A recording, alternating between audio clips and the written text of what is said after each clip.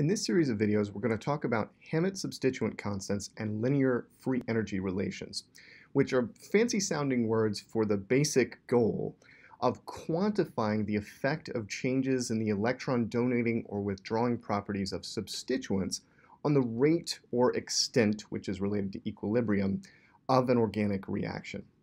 And so what we're going to do here is connect qualitative ideas about electron donating and withdrawing groups that we've examined previously in discussions of delocalized pi systems, and I'll link back to a couple of videos where we talk about and introduce donating and withdrawing groups.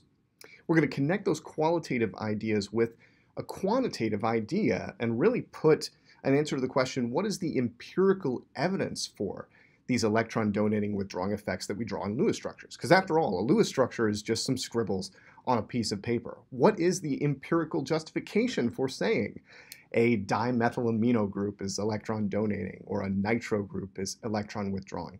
We will see that evidence in this series of videos, and we'll see how once we have a quantitative scale of how donating or withdrawing a substituent is, we can relate that across different types of reactions to gain mechanistic insight and get a quantitative idea of how much a change in the electronic properties of a substituent is going to change the rate of our reaction.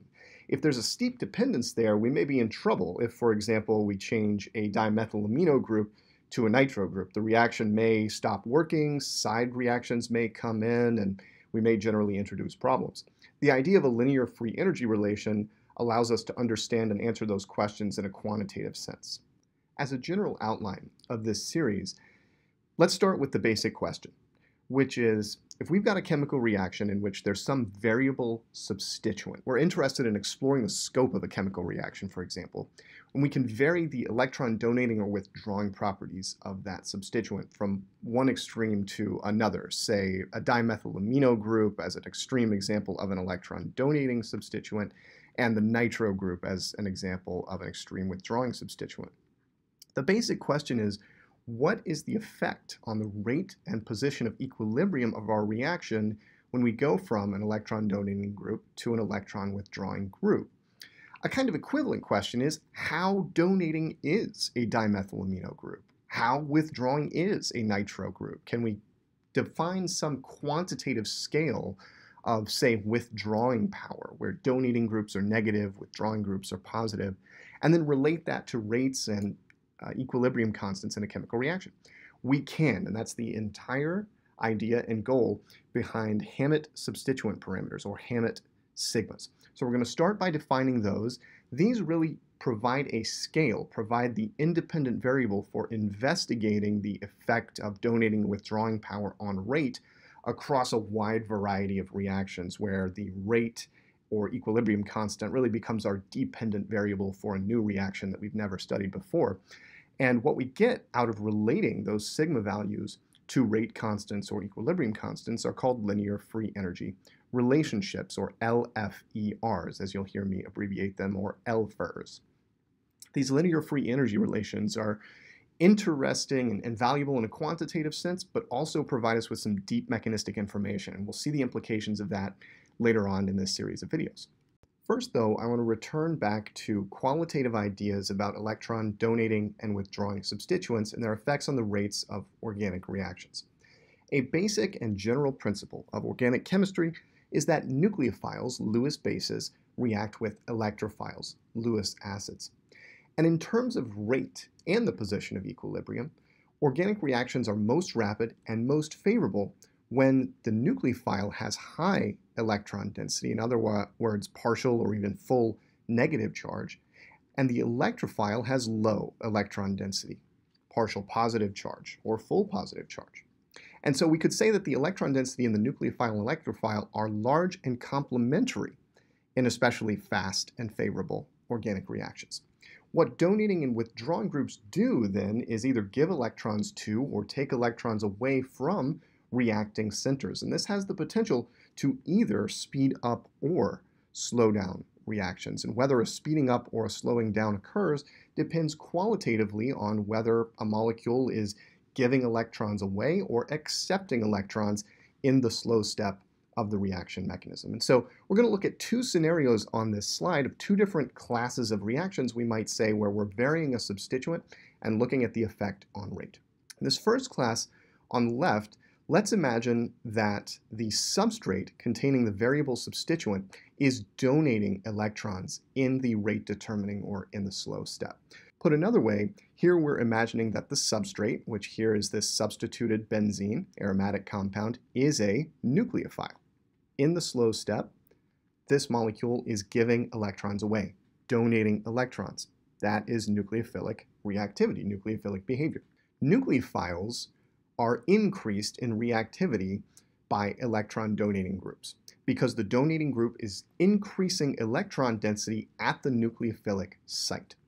For example, this methoxy group is donating electrons to the aromatic ring, increasing the electron density at the carbon that serves as the nucleophile. And in fact, it increases electron density at all the carbons of the ring to some extent, but particularly those ortho and para positions. And so because the donating group is giving additional electrons to a portion of the molecule that's giving electrons away, this step is fast and favorable. The methoxy group being an electron donating group is critical for that. In the bottom case, we've replaced that donating methoxy group with an electron withdrawing cyano group.